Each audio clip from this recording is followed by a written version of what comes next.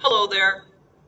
Today we're going to bring in one of the most important concepts that I feel in order of operations. And, and what I mean by that is we're going to talk about the, the exact role that brackets play uh, in terms of figuring out questions that relate to order of operations. Now, this is very important and it uses some key concepts we've already talked about, but now we're going to apply them at this important level of understanding uh, exactly what role brackets play and how we we deal with brackets uh, before we deal with everything we've talked about so far. So this is sort of the, the, the first step, quote unquote. Let's get started. So what are the required tools today? Uh, let me go ahead and grab my laser pointer here. Uh, first of all, keep a pencil handy. Uh, you do not want to use any kind of pen.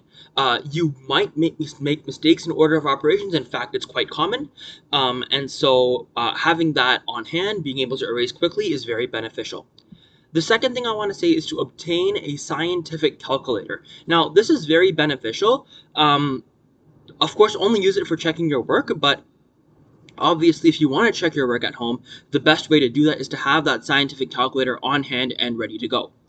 Um, that's it. Positive attitude, get ready to learn. All right.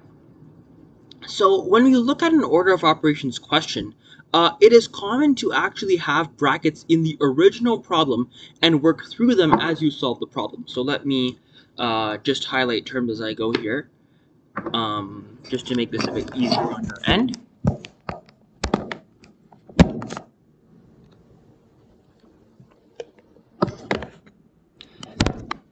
So, when we look at any order of operations type question, right, um, it's always common to have brackets in the original problem uh, and to work through them as you solve the problem, like I said. Uh, so, what is a bracket and where does a bracket appear? Um, so, we talked last time about parenthesis, right? So, a bracket occurs anywhere that has that typical bracket shape uh, that I've highlighted right there, but it cannot be a parenthesis that we talked about last week. So what does that really mean? Um, the the first point I want to bring up is that it doesn't it doesn't just encapsulate a negative sign uh, and a number. So it usually has an open end and a closed end that are very far away from each other, right? Um, and uh, let me show you what this means by actually showing you one of the brackets in this question. So if you look at this bracket right here, um, and if we sort of go through this question sort of step by step, um, you can see here that one of the uh, one of the important points when we're looking for a bracket is two brackets that are pretty far. And I'll go over what this means in a second. Uh, the second sort of dead giveaway for uh, for me, and this is a very important one, is if you ever have a situation that looks like this, or that looks like this. Now, why is that? Um, if two brackets open or close at the same time, we basically say that the inner bracket is a parenthesis. Uh, in other words, it has that whole uh, negative number idea. And the outer bracket is an actual bracket. So let me give you two examples of this in this question. All right, let me give you some examples of where this applies the most. Well, if we look at our question, we sort of go down the line here, um, we do see this double bracket situation, first of all. It comes up right here. Right? Now, that's a dead giveaway of a bracket because, of course, it wouldn't make any sense to have a double bracket surrounding a parenthesis. A parenthesis will only surround a negative number and its sign, and that's it. So, what do we think here? We think, okay, there must be a bracket somewhere. Um, and that's true. So, right here, let me just erase this. Right here, we do have a parenthesis, right? So, we still have a parenthesis that is right here. That is a parenthesis, right? Actually, I'm going to make that inside. We do have a parenthesis right there. But what I want to show you is that that doesn't cover this. It actually, if we look here, and if we look here, this entire thing is a bracket right? It's a bracket with a parenthesis within, and this is a very common way of having a bracket. If you're ever confused as to whether something is a parenthesis or a bracket, you're not really getting it. You're thinking, oh, there's negative signs and this and that and other thing. Just look at that double the double bracket opening or the double bracket closing. That will normally tell you a bracket is either starting or ending respectively. Right? Uh, so again, if a double bracket opens, um, likely a bracket will also open. That's the outside bracket. And if a double bracket closes, likely a, a bracket has also closed. That's what's happening there. Okay. Uh, what about the second one, the, the the sort of easy one? It's a bit harder to spot, but once you get good at it, it gets really easy. So look at this right here, guys. We have these two uh, parentheses. But here's the thing. None of them encapsulate a negative number. They're pretty far apart, so that would be a case where we identify our brackets. And there's obviously no other brackets in this situation. Uh, every other situation where it looks like we might have a bracket, so here, here, here, here, here, here, here, here, here, here, here, here, here, and here, these are all not brackets. Why? Because they are parentheses. And we talked about parentheses last week. All of them, if you look at them, it's literally just a negative number and the bracket. That's all it is. And uh, that obviously does not qualify as being a bracket. So remember, a bracket uh, encapsulates more than just a negative sign and the negative number. It's all about the entire operation. So you'll have addition, you'll have subtraction, you'll have multiplication, you might have division. You won't just have a negative number. That's the point I want to hone down here. Okay? All right. Uh, let's do a quick exercise. So I'm going to uh, give you guys five minutes. Let's see if the uh, the timer here is going to play. I know we had some issues with it last time. But all I want you to do is in these questions, I would like you to identify the brackets. And we'll talk about where they are in a second, okay? So let's see if this is going to work here. Okay. See you in five minutes.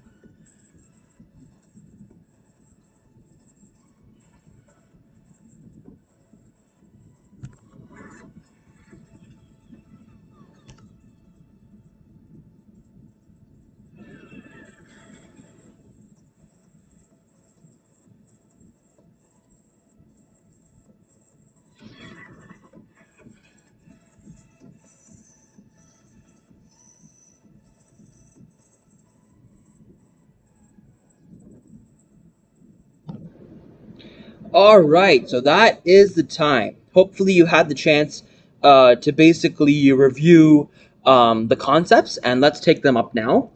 So, uh, again, we're going to color code them. So a yellow bracket is a regular bracket, and the green bracket we can identify using my little life hack.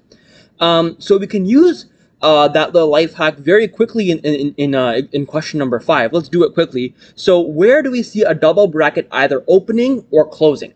Well, let's see. We have one right here. We have one right here, which easily means uh, we know exactly what we're what we signed up for, right? Um, there is going to be a bracket opening right there. That's which is exactly what we expected. Um, and so here is a bracket, right? Uh, we know this bracket cannot terminate right here because that is the parenthesis over here. So that won't work. This won't work either. That's that's another parenthesis. So it has to be this one. So this entire thing is one of our brackets. And likewise, this entire thing is our second bracket. Okay, so just to make that a bit more user friendly, I'm just gonna, gonna, gonna go ahead and highlight the whole bracket, including the parenthesis within. Right, and of course right here and right here uh, were our little triggers, right? Those are where we can recognize the double bracket opening or double bracket closing. There's no other brackets here. Uh, you might look at this and think it's a bracket, this negative 6 here. That is not a bracket, that is a parenthesis uh, because, um, you know, it's just around one negative number. So we can get rid of that. Uh, the next question, question number 6, uh, we can quickly take this up as well. Uh, again, at the very beginning, always do a scan for your double brackets. We see a double bracket situation happening over here. Um, and so it can't be this one, that's a parenthesis still, so it has to be right here, right? So this entire thing is going to be a bracket. Again, I will clean that up for user friendliness' sake. And again, this is our dead giveaway, right? Um, the other bracket is actually very small and subtle, so I, I would believe you if you just made a mistake here. Uh, that's this one. That's actually a bracket. Um, even though technically I said a bracket shouldn't only have a negative sign, this is not even a negative sign. That's a minus sign, right? Uh, the negative sign uh, is what we have when we have parentheses, right? So that would be a negative sign. That's telling you to add a negative number, uh, but uh, the other one is definitely not just a negative sign. So you want to be careful with what numbers exactly you're placing where. Okay? Um, so that is that. Those are the two brackets for question number six. Let's move on. Question number seven. Uh, question number seven does not have any dead giveaways. Uh, so we're going to have to stick to our traditional uh, yellow brackets, the regular ones. And again, you're just looking for parentheticals or little bracket things that open up relatively far from other ones. So we have one over here. Whoops. That's not a highlighter.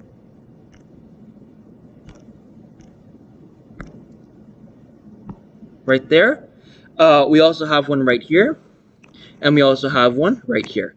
Uh, again, uh, I'm just going to cross off the ones uh, in the previous couple questions that were not brackets, so you get a feel for what the parentheses look like in this kind of scenario. Right? Uh, and then obviously the parentheses inside brackets themselves can't be brackets, so that, that doesn't even make sense uh, on a matter of principle. Okay? So hopefully all of that made sense. We do have one more question, and again in this question, we do not have any dead giveaways. That's okay. Uh, we're just going to go back to our traditional brackets. Here's one. That's it. There's nothing else. All these other ones are simply parentheses.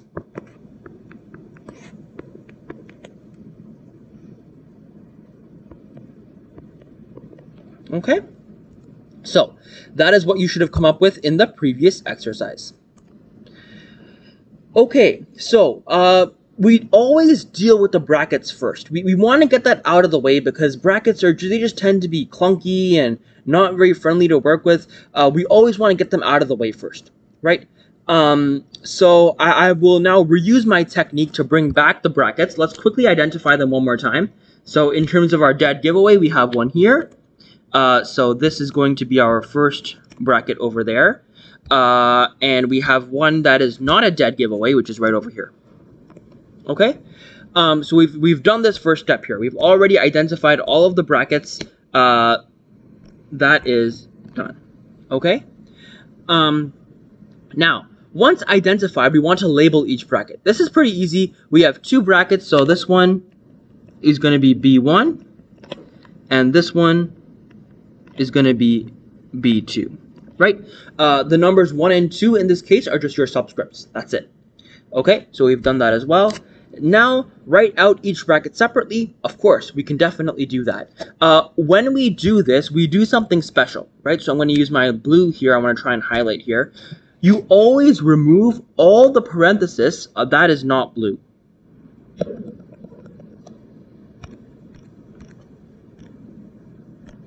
You always remove all the parentheses that were in the original question, right?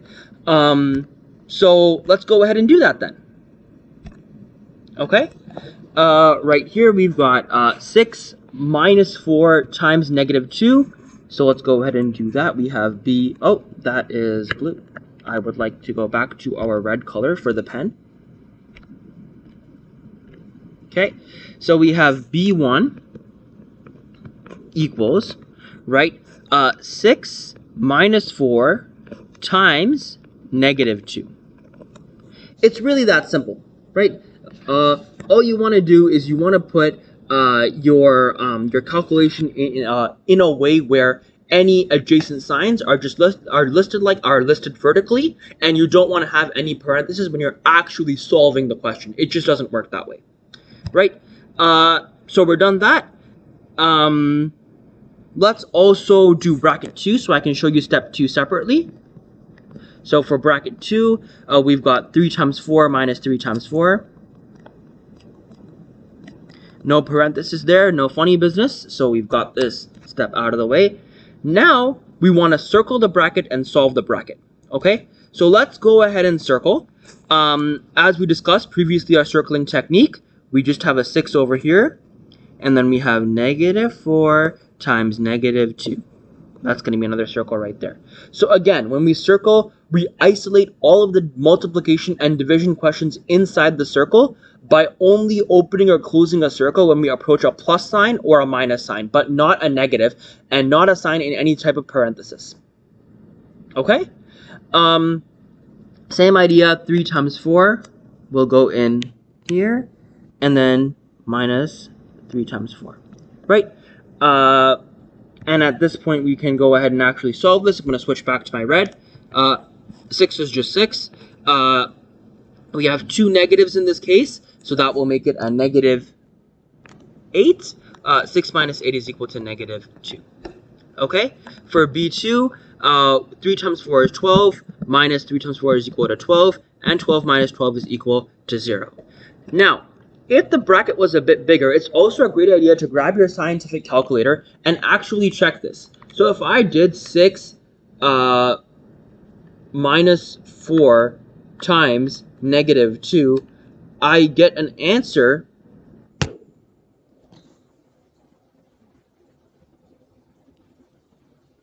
Okay, so there's a small error in this case, so it's a good thing that I checked my answer. I got an answer of 14. Okay, so clearly something went wrong. So let's go back and look at this question. Uh, what I did wrong is that I wrote 6 minus 8 over here. This should actually be 6 plus 8. Okay, uh, and of course this changes this to 14, right? So that is the importance, as I said at the beginning, you want to have a calculator close by. This is the reason why. In case any mistake is made, you want to be able to immediately check your work with your calculator. Okay? Alright. Um, in the case of the second question, I don't think there's any mistake there. 3 times 4 minus 3 times 4. And yes, I do receive a result of 0. So now I can be confident because I've checked with my calculator that both of my results are 100% correct. Okay? So I can get myself a little smiley face there. But that's the whole point, right? You always, I, I don't want to lose you on the importance of this statement right here. You always deal with the brackets first right? You deal with the brackets first, you get them out of the way, and only then do you proceed with the rest, with the rest of the question. Now, how do you do that? Because I do want to finish this question off. Well,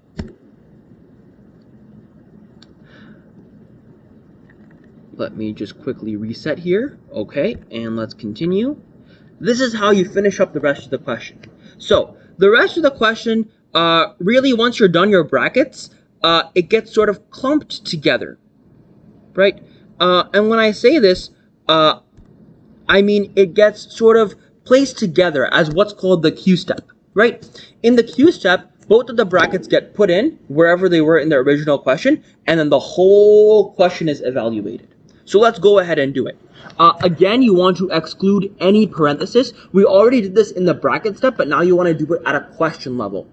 Um, and again, we're going to go uh, over all this on the next slide.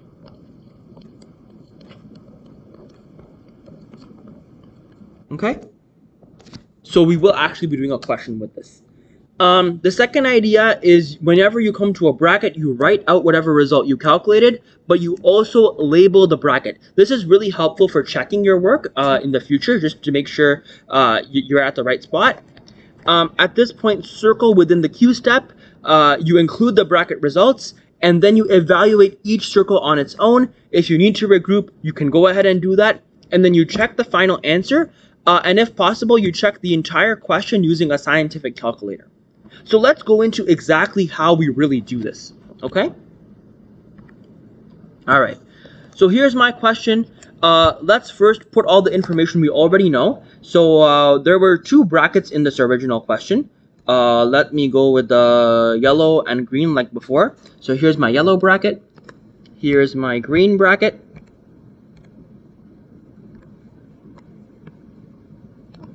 Okay, uh, and we actually did evaluate these. So we know that this is good. This was called bracket one, right? So now we're pretty much doing this question from the top again. Um, sure, we'll stick with purple then.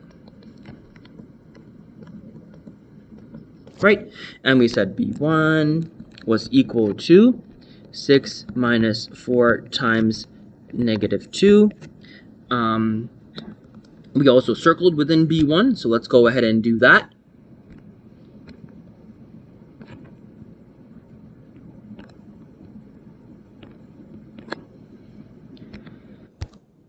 and we received an answer of 6 plus 8, which is equal to 14. Okay? And now we undergo a similar process for question number 2. Uh, let's go ahead and do that then. So B2, we have 3 times 4 minus 3 times 4. Uh, and of course, we need to circle.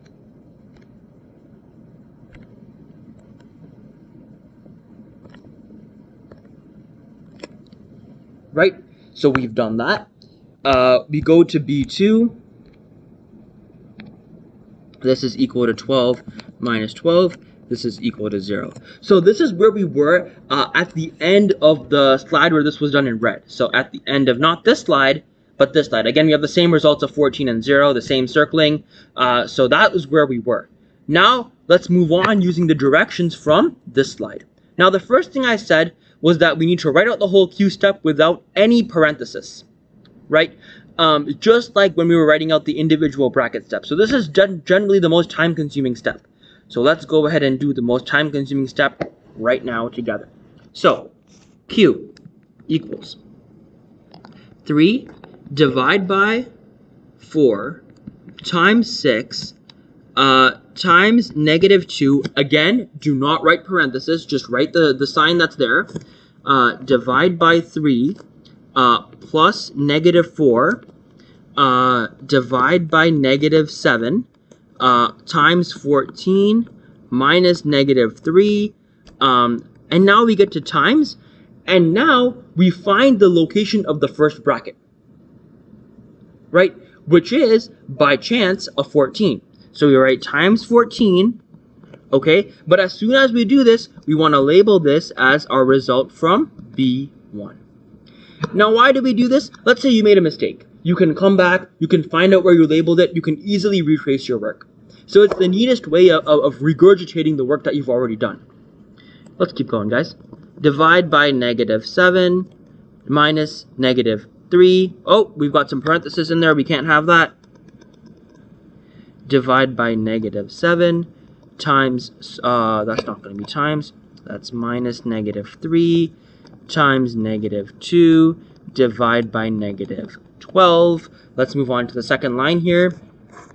Times negative 2 uh, times 4 minus 5 times 10 times 2 divide by negative 15 um, times 3 minus negative 3 uh, times, again, we reach the location of B2. We put the 0 in there. We label this as B2. Um, I'm going to go through here and label that as B2 right there. Actually, maybe not. Let's not do that. Um, we'll just label it below as B2. Maybe that's a bit neater. Yep, so we'll just label it below here as B2. And then we keep going. Divide by negative 4 times negative 3 plus 1 uh, minus 5 times 6 divide by 5 times 6. Uh, we did have a couple of parentheticals in there, so you want to get rid of all those.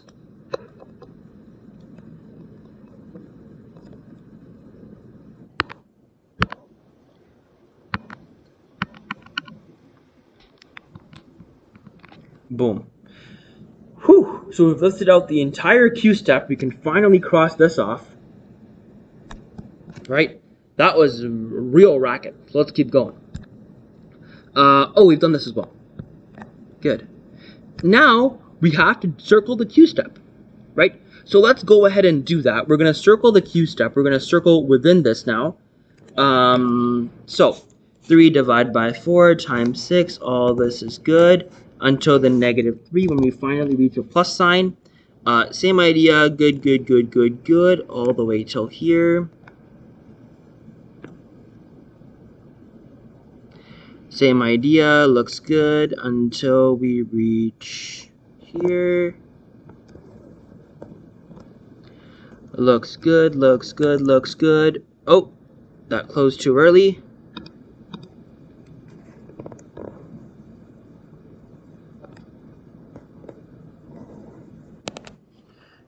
Uh, yeah, so, so far no pluses or minuses. Uh, looks like we can continue the circle. You can just uh, draw two open-ended circles like this to show that it's continuing. Right? Uh, that's a minus sign there, so now the whole party stops uh, and we start again.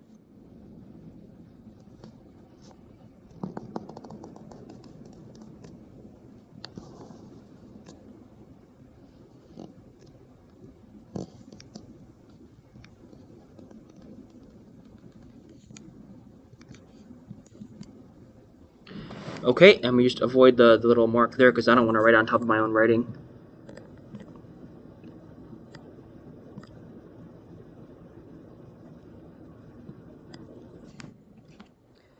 Ta-da! All circled.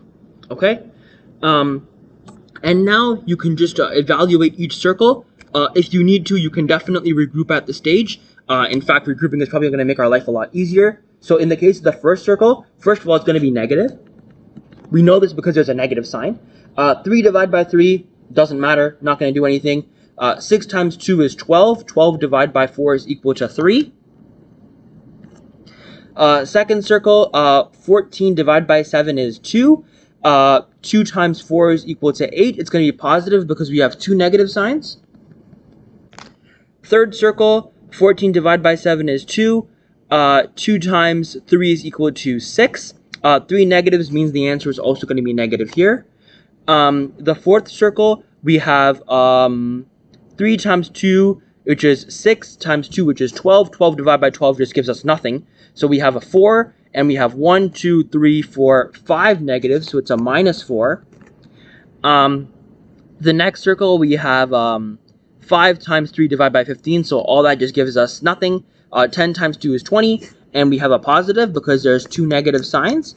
Uh, the next circle over, it's a zero because we have a zero of our multiplying numbers. Um, it doesn't matter whether, whether it's positive or negative, but in this case, the number is going to be positive because we have four negative signs. Um, plus one can stay.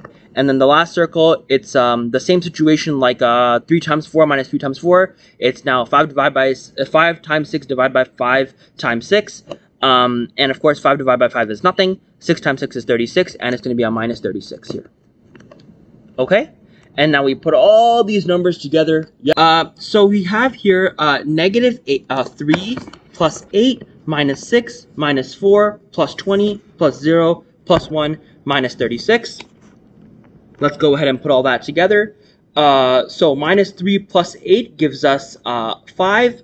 5 minus 6 gives us negative 1. Negative 4, uh, sorry, negative 1 minus 4 gives us negative 5. Negative 5 plus 20 gives us uh, positive 15. Positive 15 plus 0 is positive 15, plus 1 is positive 16, minus 36 is equal to negative 20.